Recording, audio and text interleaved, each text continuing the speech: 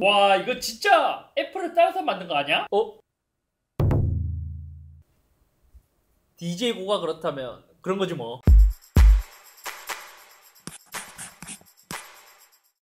안녕하세요 이쌤입니다 조만간 갤럭시의 큰 게 찾아옵니다. 오늘은 새롭게 업데이트될 원 UI 4.0의 달라진 점 10가지를 살펴보려고 합니다. 사실 세세하게 따지고 보면 업데이트된 것이 굉장히 많은데 이번에는 좀 많이 두로 체감할 수 있는 부분들을 정리해봤어요. 먼저 기존에 있었던 원 UI 3.1은 안드로이드 11을 기반으로 하고 있습니다. 하지만 곧 업데이트될 4.0은 새로운 안드로이드 12 버전을 기반으로 하고 있죠. 사실 안드로이드 12도 아직까지 정식으로 업데이트 되진 않았습니다. 하지만 10월에 출시될 예정이기 때문에 거기에 맞춰서 삼성도 One UI 4.0 0 버전을 9월 14일부터 베타를 시작했고 저도 베타에 신청해서 갤럭시 S21 플러스에 설치한 상태예요. 그리고 항상 언급하지만 베타이기 때문에 정식 버전이 다가오기 전까지는 업데이트 하는 것을 추천드리진 않습니다. 게다가 여기서도 보면 그러한 부분이 있습니다. 애플의 경우 회사 자체에서 iOS를 만들다 보니까 최적화는 여러 가지가 가능하지만 삼성은 구글이 만들어 놓은 안드로이드 위에 또 One UI라는 사용자 인터페이스를 이제 custom해서 또 올리다 보니까 애플만큼 최적화하기가 쉽진 않을 거예요. 일단 새로운 One UI를 올리고 나서 플라시보일 수 있지만 전체적으로 애니메이션이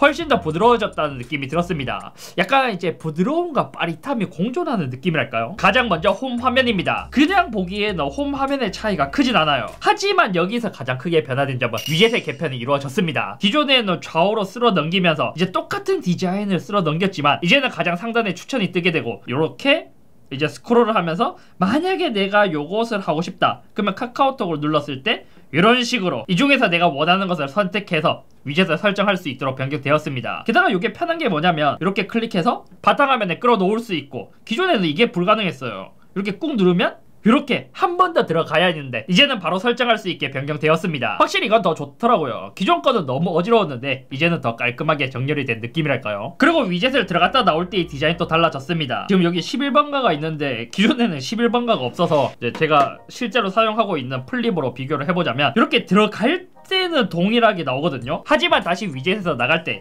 이렇게 이렇게 들어갈 때는 동일한데 나올 때는 뭔가 애니메이션이 변화되었죠. 아 그리고 개인적으로 좋아했던 부분. 제가 해외를 나가거나 이제 현지 시간을 할 때 뭐 keynote나 여러가지 Unpack을 볼 때 그러한 점 때문에 dual 시계를 사용하게 되는데 이것도 기존에는 그냥 시간만 표시가 되었다면 이제는 그 시간에 밤이면 검정색 낮이면 밝은색으로 표시되도록 좀 더 직관적으로 볼 수 있게 변경되었더라고요. 그리고 검색에서 만약 이렇게 이제 앱을 검색했잖아요. 이때 기존에는 이렇게 하면 뭐 이제 간단한 정보가 나오게 되었지만 이제는 검색을 해서 앱을 지울 수 있도록 변경되었고 그리고 충전 효과의 애니메이션도 달라졌습니다. 이것도 알고 보면 충전 속도에 따라서 디자인은 거의 유사하지만 색이 좀 달랐거든요. 솔직히 저는 좀 구려졌다고 느껴졌어요. 다음은 퀵 패널입니다. 먼저 이렇게 내렸을 때 크게 체감되는 것은 밝기 디자인이 변경되었어요. 저는 바뀐 디자인이 훨씬 두툼해서 더 마음에 들었습니다. 그리고 전체적으로 배경을 봤을 때 블럭값을 훨씬 더 많이 준 것 같죠. 기존에는 뒷 배경이 더 자세하게 보였지만 이번에는 이제 거의 보이지 않도록 변경되었고 또 크게 변경된 점은 여기서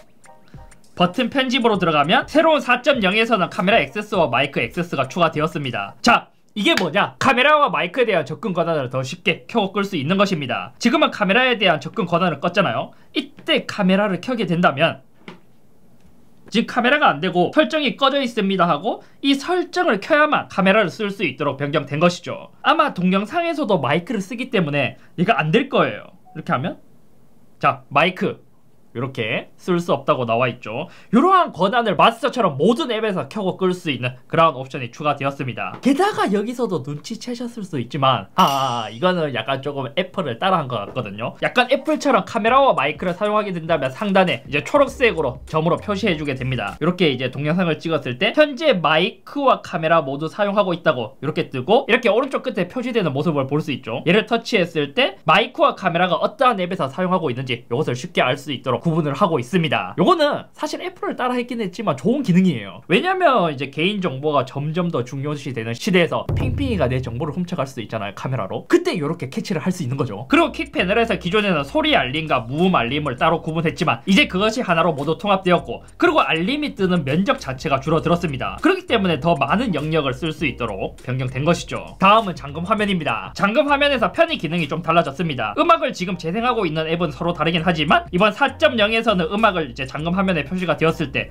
이렇게 재생바가 나오기 때문에 쉽게 왔다 갔다 하면서 조절할 수 있고 특히 여기서 내가 막 블루투스 기기를 여러 가지 사용하고 있을 때 오른쪽 위에 보면 미디어 출력이라는 기능이 있고 요것을 눌러서 이제 여러 가지 블루투스 기기를 바로바로 바로 쉽게 전환할 수 있게 변경되었더라고요. 요거는 진짜 좋은 기능인데? 그리고 AOD에 대한 변화도 생겼습니다. 기존에 없었던 새 알림 표시라는 기능이 새롭게 추가되었고 이게 뭐냐면 그러니까 AOD를 항상 켜놓는 게 아니라 뭐 카톡이나 문자나 전화가 왔을 때 그때그때 잠시 AOD를 켜는 기능이 새롭게 추가된 것이죠. 그리고 멀티태스킹이 강화되었습니다. 먼저 팝업 화면으로 보자면 이렇게 했을 때 나오는 창은 동일하거든요. 하지만 지금 보이다시피 여기 기능이 몇 개 더 추가된 모습을 볼 수 있죠. 요것을 누르게 된다면 이제 원래는 이렇게 터치를 해서 계속 봐야 했지만 요것을 하게 된다면 뭐 다시 없앨 수도 있고 요 기능을 다시 켤 수도 있는 기능이 새롭게 추가되었습니다. 그리고 멀티태스킹 시 분할 화면을 사용할 때 기존에는 이렇게 움직이는 방식이었다면 이제는 요렇게 뭔가 blur를 처리하면서 좀 더 부드러워지게 이제 모션이 바뀐 그러한 모습을 볼 수 있습니다. 근데 요거는 호불호가 있을 것 같아요. 왜냐면 기존에는 유튜브로 보다가 멀티태스킹을 할 때는 이제 화면을 보면서 할 수 있었다면 이제는 이렇게 전체가 blur가 먹기 때문에 요거는 조금 장단점이 있다랄까요? 그리고 엣지 패널에서도 이렇게 하게 되면 기존에는 모두 blur가 되면서 엣지 패널에 집중을 할 수 있었지만 이제는 blur가 생기지 않고 그냥 엣지 패널만 나오는 모습을 볼 수 있습니다. 근데 요것도 호불호가 있을 수 있는 게 저는 기존 버전이 더 좋더라고요. 뭔가 이제 난잡한 느낌이랄까요? 그리고 또 좋아진 기능이 있습니다. 기존에는 유튜브를 보다가 홈으로 나갔을 때 PIP 기능이 가능했는데 pinch zoom으로 화면 크기를 조절할 수는 없었어요. 다만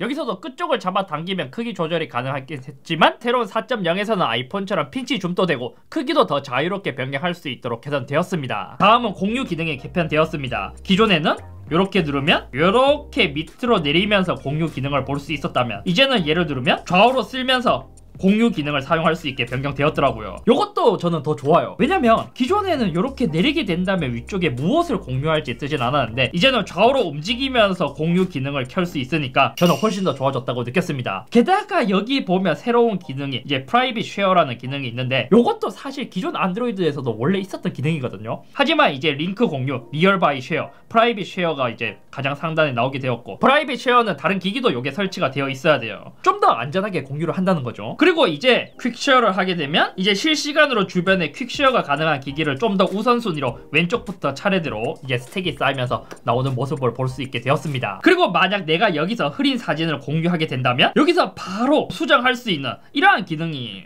추가되었더라고요. 다음은 카메라의 디자인이 크진 않지만 소소하게 개편되었습니다. 초광각에서는 나무가 많이 보이고 광각에서는 두 개, 망원에서는 한 개, 초망원에서는 더 자세하게 뭐 이파리가 보이는 그런 식으로 디자인이 되었지만 이제는 0.5, 1, 3 이렇게 더 쉽게 확인할 수 있도록 변경되었습니다. 게다가 저는 여기서 더 좋았던 게 뭐냐면 이렇게 만약에 한 22.7 이렇게 된 것을 얘도 동일하게 설정하면 기존에는 정확하게 알 수 없었지만 새로운 버전은 22.7 더 정확하게 알 수 있게 변경되었더라고요. 기존에는 사실 이게 좀 이해가 안 갔는데 더 좋아졌죠. 그리고 영상을 촬영할 때 기존에는 클릭을 하고 이제 손을 떼야 영상 촬영이 시작되었는데 이제는 그냥 터치만 하면 바로 시작되도록 이렇게 빠르게 촬영할 수 있도록 변경되었고 또 사진을 찍다가 영상을 찍고 싶은데 더 빠르게 할 수 있잖아요. 이렇게 촬영하고 손을 떼게 되면 그냥 이제 촬영이 끝났는데 이제는 촬영을 계속 이어가고 싶다. 그럼 잠금으로 이렇게 하면 계속 영상을 촬영할 수 있도록 변경되었습니다. 그리고 사진 찍는 분들을 위해 프로 모드가 조금 더 개편되었더라고요. 이것도 제가 프로 동영상보다 이제 사진에서 조금 봤었는데 지금 보면 UI가 확실히 달라진 모습을 볼 수 있죠. 심지어 여기서는 아까 뭐 0.5, 1이 아닌 초광각, 광각 이렇게 두 가지의 표현이 달라졌고 또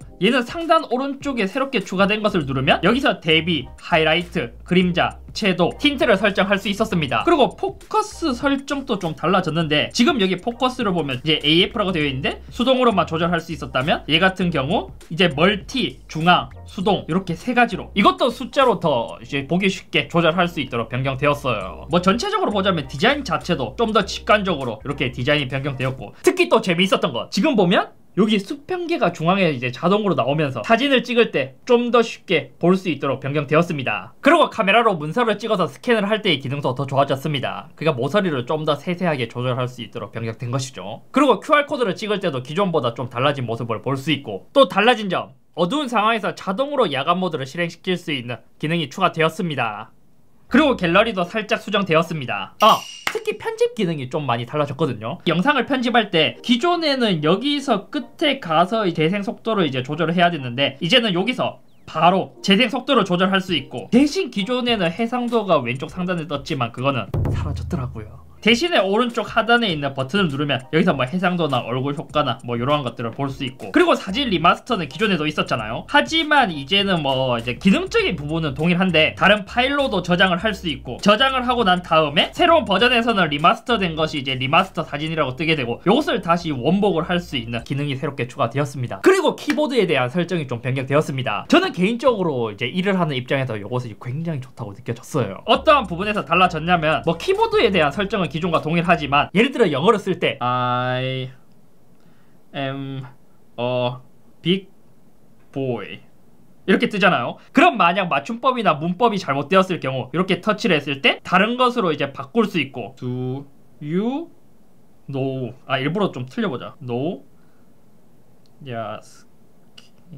이런 식으로 했을 때 지금 잘못되었다고 뜨면서 이렇게 바꿀 수 있는 기능이 새롭게 추가되었습니다. 이게 뭐냐면 이제 설정으로 들어가게 되면 문구 수정 제한이라고 뜨게 되고 이번 4.0부터는 그래머리에서 제공하는 기능을 삼성 키보드에서 기본적으로 사용할 수 있게 되었습니다. 이게 영작을 많이 해보신 분들이라면 익숙한 툴일걸요? 근데 제가 알기로는 이것도 유료라고 알고 있는데 이것을 삼성 키보드에서 기본으로 제공한다. 와. 이거는 일하시는 분들에게는 진짜 좋은 기능이에요. 그리고 기존에는 이모티콘이나 GIF나 이렇게 따로 구분이 되어 있었지만 이제는 하나의 버튼에 통합이 되어서 여기서 GIF나 이모티콘이나 이제 한 번에 쓸 수 있도록 개편되었습니다. 그리고 설정에 대한 부분도 달라졌는데 이게 막 엄청 크게 바뀐 건 아니거든요. 하지만 이제 설정으로 들어갔을 때 이제 가장 밑으로 가면 안전 및 긴급이라는 탭이 새롭게 추가되었어요. 그러니까 문자 메시지에서도 있었던 기능이고 기존에 있었던 기능이긴 한데 이제 설정에서 한 곳으로 모두 통합을 시켰고 개인 정보도 좀 개편이 되었거든요. 기존과 다르게 여기서는 좀 더 직관적으로 볼 수 있도록 아까 말한 것처럼 카메라와 마이크를 어떠한 앱에서 얼마나 썼는지 기존에는 사실 이게 들어가도 보기가 싫었는데 더 쉽게 볼 수 있고 tracking을 할 수 있도록 변경된 거죠. 그리고 배터리 및 device care도 디자인이 살짝 달라졌습니다. 기존에도 사실 뭘 깔끔하게 했었는데 지금은 뭐 이렇게 문제가 있는지 없는지 간단하게 보여주고 특히 배터리로 들어가 갔을 때 기타 배터리 설정으로 들어가게 되면 이제는 배터리 수명을 위해 최대 85%까지만 충전할 수 있는 기능이 추가되었습니다. 노트북 같은 경우에도 배터리 수명을 위해서 이러한 기능이 있는데 이제 이것이 스마트폰에도 들어온 것이죠. 나머지 부가적인 기능은 캘린더에 대해서도 조금 개편이 이루어졌습니다. 기존에는 일정을 입력하기 위해서 이렇게 선택을 하고 나서 이제 뭐 여기서 여러 가지 입력해야 됐지만 이제는 선택을 하고 나서 메시지처럼 밑부분에서 바로 일정을 입력할 수 있도록 개편되었습니다. 이제 캘린더를 공유하는 방법도 좀 더 쉬워졌더라고요. 여기 들어가서 이제 캘린더 관리에 들어가면 기존에 없었던 이제 공유 캘린더 만들기라고 해서 제가 애플에서 좀 유용하게 사용했던 기능인데 이제 이게 갤럭시에서도 사용 가능해졌더라고요. 물론 사실 이게 이렇게 하지 않아도 뭐 구글 캘린더를 같이 뭐 공유해서 쓰는 방법이 있긴 한데 뭐 이제 공식적으로 추가된 기능이죠. 빅스비 루틴도 개선이 되었습니다. 루틴 추가로 들어갔을 때 이제 조건 이런 것은 거의 비슷한데 새롭게 추가된 기능은 기존에는 특정 단어가 포함된 메시지를 받으면이라는 게 있었지만 이제는 특정 단어가 포함된 알림을 받으면 이제 실행되는 이러한 기능이 추가되었고 동작에서도 블루투스 뭐 연결이 되었을 때 기기가 연결 해제되었을 때 그러니까 기존에 비해서 좀 더 복잡한 작업을 할 수 있도록 변경된 거죠. 그리고 배터리에서도 이제 처리 속도 요것도 뭐 최적화 높음 최대 요것을 이제 바꿀 수 있는 그러한 기능들이 몇 가지가 추가되었습니다. 그리고 AR 이모지도 크게 달라졌다고 하는데 사실 이건 잘 안 쓰잖아요. 애플에서 이모지를 만드니까 이제 삼성에서 이모니 야 우리도 똑같은 거 만들어. 그렇게 해서 뭐 이제 억지로 만든 것 같은 느낌이랄까. 이렇게 갤럭시에서 새롭게 추가될 원 UI 4.0에 달라진 점 10가지에 대해 살펴봤습니다. 대체적으로 보자면 막 엄청 크게 바뀐 건 아니거든요. 하지만 이제 앱별로 아니면 설정이나 여러 가지 부분에서 세세하게 좀 더 편리하게 사용할 수 있도록 이제 변경된 것 같습니다. 뭐 이러한 것들을 보자면 뭐 키보드도 그렇고 전체적으로 안드로이드는 뭐 이렇게 여러 가지를 편리하게 쓸 수 있는 기능 뭐 그러한 맛에 쓰는 것 같습니다. 아무튼 오늘 여기까지며 야 진짜 이 OS를 보면 되게 재미있죠. 애플의 경우 옛날 안드로이드에서 당연히 있었던 기능들이 점점 더 추가되었고 또 갤럭시의 원 UI나 안드로이드에 있는 것은 또 애플을 따라가는 듯한 느낌이 들기도 하고 크게 서로 욕할 건 없는 것 같아요. 뭐 서로 서로 이제 좋은 기능이 들어가면 소비자는 더 좋으니까요. 원래 이게 애플이 먼저 하긴 했는데 갤럭시도 추가된 게 좋아요. 어떠한 앱이든 카메라가 사용 중이면 오른쪽 위에 뜨게 되고 어떠한 앱에서 썼는지 나오고 만약 이것을 마스터로 그냥 꺼버리면 모든 앱에서 카메라를 비활성화시키는 이런 기능은 애플을 따라했지만 굉장히 좋은 기능이죠.